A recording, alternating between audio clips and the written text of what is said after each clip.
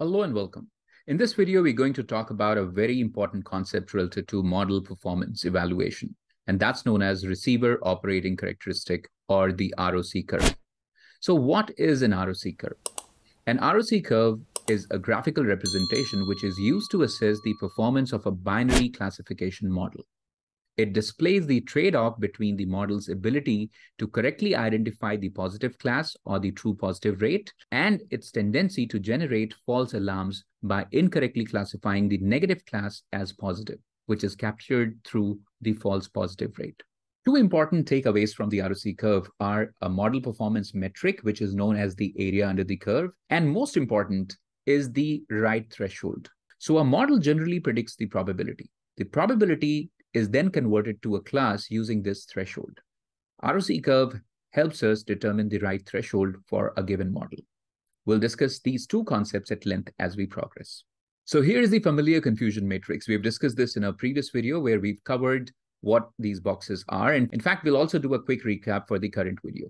So confusion matrix essentially is a two by two matrix, which helps us identify various model performance measures like accuracy, recall, and precision. And an ROC curve would also find its roots in this confusion matrix itself. So let's take a scenario. Let's say we are talking about a bank which has reached out to its existing customers pitching for a term deposit. And we have these zeros and ones, which are the historical responses from the customers. So this one, which suggests that we should target a prospect, represents a scenario where a person historically has accepted the offer. And for those cases where the people rejected the offer, the prospect rejected the offer, we are suggesting that we should not target. Please note, these are the occurrences that have already happened. So these are captured as historical occurrences. Zero means person rejected the offer. One means the person accepted the offer. Now, based on the model, we will try to come up with prediction. Now, prediction is not something that has already happened. Prediction is something which is yet to happen. So in your prediction, when you predict a one, it simply represents these are the people who are likely to accept the offer as per the model. And a zero here represents the case where these are the people who are likely to reject the offer. Why are we saying likely? Because this is yet to happen. And that's why the models don't generally predict the classes directly. They predict the probabilities. These probabilities then in turn are compared with a threshold, which is by default set to 0.5 in most of the models. Then the rule is that you compare your predicted probability with the threshold. If the predicted probability exceeds the threshold, then the prediction is 1. Otherwise, the prediction is 0. So all of this we don't necessarily see in the code when we apply it through scikit-learn, but this is what is internally happening. Now let's look at this case. These are the predicted probabilities. And let's say we compare each value here with 0.5. So these highlighted values, as you can see, are the values which are definitely greater than 0.5 which means the prediction as per this rule would be 1 for all these predicted probabilities. And what about the remaining cases? It is going to be 0. So from the probabilities, we have come to the classes. And now that we have the ground truth labels and the predicted classes, we can populate a confusion matrix. Let's say we continue to work with a threshold of 0.5 right now, and let's try to find out how do we go about filling these boxes. Just to quickly recap the concept of true positive, true negatives, false positives, and false negatives, here are the definitions. The true positive would represent the number of actual ones which were classified correctly by the model. It was an actual one, and the model also says it's a one. True negatives, on the other hand, would be the actual zeros or the scenarios where we should have not targeted identified correctly by the model as well. So these two boxes are marked in green because they have complete synchronization between the actual versus predicted. However, there's a problem with these two boxes where we have false positives and false negatives. False positives essentially represent false alarms. So as per the model, the false positives should be targeted. But the reality that we know is that these are the people who rejected the offer. So what would happen? We will incur a cost. We are going to target these customers, but they're not going to subscribe. Similarly, false negative. So these are the people who actually would have subscribed, but the model suggested not to target these people. So this represents a loss. If we would have targeted these people, we would have got the conversions. But the model suggested otherwise, and we lost these people. So for a good model, we would want to minimize the false positives and false negatives. Let's quickly populate this confusion matrix for this data. So to begin with, let's identify all ones identified as ones. And these are our true positives. If we count, the number is four. Then let's identify all zeros that have been correctly identified. So these are three. We update that number here. Let's go to false positives. These will be the cases where an actual zero, a zero in this column would have been called a one. So there's just one instance that will be updated here. And finally, the false negatives. What are these cases? These are going to be ones which have been classified as zero by the model. So these are two cases and our confusion matrix is up to date. Now let's look at the true positive rate or recall and the false positive rate. So a true positive rate by definition is true positives divided by true positive plus false negative. And a false positive rate is false positive divided by the false positive plus true negative. The other names for these terms are recall and sensitivity, which is the same as TPR, and FPR or false positive rate is also known as 1 minus the specificity, which is nothing but true negative divided by true negative plus false positive. You'll find that term in some books. Now let's understand what is the meaning of TPR. We understand this is the formula to calculate TPR, but what is the meaning of TPR? So TPR essentially talks about what proportion of the actual ones were classified correctly. See, if you do the total of this row, false negative plus true positive, this is the number which are the actual subscribers, actual people who said yes or accepted the offer. And when we say true positives, this is the number where the model and the actual finding is in sync. So of the total actual ones, how many were identified correctly? This proportion is known as the true positive rate. Likewise, of the total negative class, which is zeros, we have true negative plus false positive. What proportion did we misclassify? This is the proportion of false alarm, we can say. So false positive divided by false positive plus true negative. In our case, if we plug the values that we populated, we get these values here. So the true positive rate is 0.67 or 67%, and false positive rate is 25%. Now, this is happening when the threshold that we have considered is 0.5. What if we change the threshold to zero? So if we change the threshold to zero, then as per the rule that whenever a predicted probability is greater than the threshold, you have to predict one. Now notice all these values that you see here actually are greater than zero. The smallest value is 0.10 or 10%. Since all these values are greater than zero, the prediction is going to be one throughout. Now what will happen? In this scenario, you'll be able to identify all the actual ones properly because we are predicting only ones. So all the actual ones in the data or the ground truth will be identified correctly. But at the same time, we will misclassify all the zeros because we never predicted anything as zero. So we can't identify it properly. So all the zeros are misclassified. And if you look at the counts, the actual ones were six and false positives that we have here are four. Now let's discuss what will happen to the true negatives and false negatives. See, the point is this value occurs only when we identify a zero correctly. Since we never predicted any zero, we are not going to identify any zero correctly. And this value, false negative, occurs when a 1 is being called a 0. But we never said anything is a 0. So both these values are going to be zeros only. So now if we go about calculating the true positive rate and false positive rate, and we plug these values here as per the formula, we're going to get the true positive rate as 1 or 100% and false positive rate as 100%. Note, this is happening when the threshold has been taken as 0.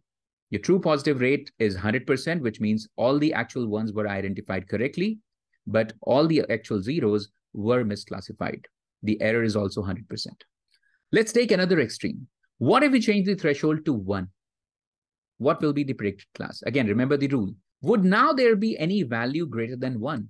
Because we are talking about probabilities, and probability as a value always ranges between 0 and 1, never exceeds 1, never goes below 0. So now since the threshold itself is 1, a probability can never exceed 1. So we are consistently going to predict zeros now. And if that is the case, what will happen? We'll identify all the zeros correctly. The true negatives, 4 out of 4. At the same time, we will misclassify all the ones from the ground truth data. So all these cases of ones are misclassified because we are only predicting zeros everywhere. So now you can guess what will happen to the false positives and true positives. We never said anything is positive. False positives happen when a zero is called a one but we never predicted anything as one in the first place. So false positives are going to be zero. And true positive happens when a one is identified as a one. That again is out of question because we are consistently predicting only zeros. So we will never call a one a one here as per this threshold. So these values are going to be zeros again.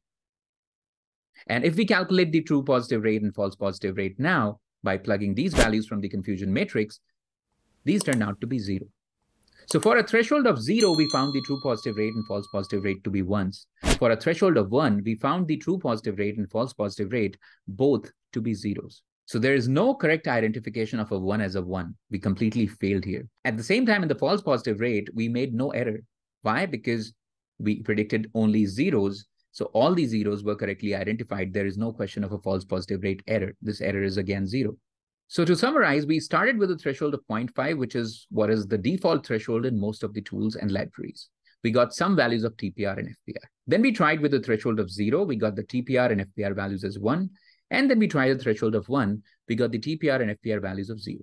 So if you realize upon changing the threshold, the confusion matrix, these numbers somewhat get modified. And as a result, the TPR and FPR calculations also suggest different values. Is it possible that we try to calculate TPR and FPR over a range of thresholds? Well, that's exactly what the ROC curve does. So an ROC curve would have the x-axis as the false positive rate and the y-axis as the true positive rate. And these points marked here in red are representing various thresholds. Let me show this actual output to you now. So here is the actual ROC curve generated using some data. If I hover the pointer here, you can see that each value here, each red dot here represents a value in terms of xy coordinates. For example, this value suggests that the threshold that we have taken is 0.9 and the value of FPR is zero, whereas the value of TPR is approximately 10.7%, x comma y. Look at this value. This value is taken as a, at a threshold of 0.5, where the false positive rate is zero, but the true positive rate or the recall is 57%. Likewise, if we go up, you can see now at the threshold of 0.4, the false positive rate, the error has gone to 20% approximately, and the true positive rate or the correct identification of true positives is at 73%. Similarly, if we go to another value, threshold is reducing. So this was 0.5, then we came to 0.4 and now 0.3. And what is the value? The false positive rate has further gone up to 40% and true positive rate has also gone up to 85%. So ROC curve essentially represents a trade-off between the true positive rate and the false positive rate. How much error are you willing to tolerate, as in the false positive rate, are you willing to tolerate for an improvement in the true positive rate? So coming back to the slides, let's understand what else does it represent. So you can imagine this x-axis is of length 1 and this y-axis is also of length 1 because these are false positive rates and true positive rates cannot exceed 1. There will be values between 0 and 1. When the sides are 1 and 1 respectively, the overall area is going to be 1. And if we consider this dashed green line here, this is called a random classifier. It actually represents a model for which the true positive rates and false positive rates would stay equal at all places. If you follow this grid, you can imagine this is a 0.6 here for false positive rate, and again a 0.6 here for a true positive rate. So this essentially represents a line at a 45 degrees angle. Area of this triangle would be half of the overall area, which was 1. So this is going to be 0.5. Now a model is going to be a good model if it covers an area above this triangle. And the more it is, the better it is. So in our case, if you see, this model covers a significant area above the lower triangle. And this area, which is shaded green area that you see, entire area, is called the area under the curve, which is a model performance measure. So we said we, we get two important takeaways from ROC curve. Number one is we get to know a model performance measure called area under the curve. The higher it is, the better it is, and it should be at least better than 0.5. Now, the second important question that's yet to be answered is how do we find the right threshold? And in order to answer this, let's come back to Google Colaboratory, where we've written some small code. So I'll show you how to find the right threshold for a model. It becomes a very important decision in a lot of classification problems. So it's a must know. So we are importing the basic libraries here to begin with. Apart from NumPy and Pandas, we have called the train test split because we'll show you exactly the way this code should be applied.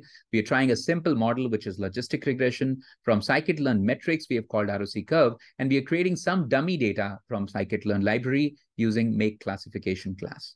So let me just execute this. And then we are generating some XY pairs using this make classification method, where we are generating 1,000 samples, which will have 10 columns. And the target column will have two classes. We've also kind of given the proportions. And this random state is given to ensure that whatever we do is repeatable and reproducible, which means it would give us the same output when we rerun the code. We divide the data into two parts, train and test, and that's what we are doing here. Once again, mentioning a test size as 20%, so train would automatically be 80%.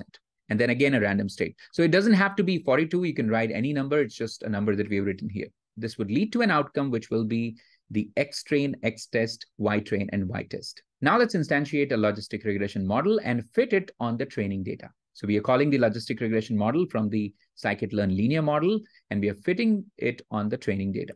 This is called learning. This is what machine learning in fact is. And now once the model is fit, we would want to generate predicted probabilities. Notice if we change this function to dot predict instead of dot predict underscore probe, it'll straight away give us the classes. But we don't want that here. We want to predict the probabilities and particularly the probabilities of ones. So if you print the output here, you will get to see that it predicts probabilities in two columns, the probabilities of zeros and probabilities of ones. We are only taking the probabilities of ones right now. That's why we are running it like this. And once that is done, these predicted probabilities and the actual labels will be given as an input to this function called ROC curve. I would suggest we should do it not for the test data, but for the train data. So I'm making a small change here. This should not be test, this should be train because this is how we are learning it. So we are predicting the probabilities on the training data, and we are trying to generate the false positive rate, true positive rate, and thresholds for the train data using the actual train labels and the predicted probabilities. Now, if we want to find out the optimal threshold, as we have learned, we will take the difference between the true positive rate and false positive rate. See, true positive rate is something good. False positive rate is the error. So using this numpy.argmax, we are essentially trying to find out the index of that value of threshold, which has the maximum difference between the true positive rate and false positive rate, essentially which maximizes the difference between true positive rate and the false positive rate. And then to these thresholds, we will just pass this index and get to know the right threshold. So if you see the right threshold is 0.20. Imagine by default, the threshold that's given in case of most of the tools is 0.5. But as per our data, when we check the right threshold, it's 0.2. So this threshold is the right threshold to be used for training data now to convert the classes to ones, and same threshold would be passed on to the test data as well. What you learn from training is what you're supposed to pass to test. So this is the right threshold for the given model. Now, if we want to visualize this data using the ROC curve, we can visualize it using matplotlib or plotly. So I'm using plotly here in this particular case. We are, we are taking the X and Y values as FPR and TPR respectively. These are the values that we got from that function called ROC curve, this function. And then we are drawing lines. And also for the diagonal line, we are just mentioning that we want, would want to label it as random classifier, and it'll be a dashed line. And we are not displaying that separately in the legend. And this is just the layout. So we are giving some input related to the range of x-axis and y-axis and the dimensions, etc. So here is your ROC curve for the given data that we just looked at. You can see the area under the curve looks quite decent because it is way above this random classifier, which is this dashed line. So this much is 0.5 or half, and this is a lot more than that. So this looks like a decent model. That's pretty much about the ROC curve. We'll be needing it further when we solve classification problems, and you'll see more of hands-on there. Hope you get clarity on why ROC curve is needed and what's its relevance. Thank you.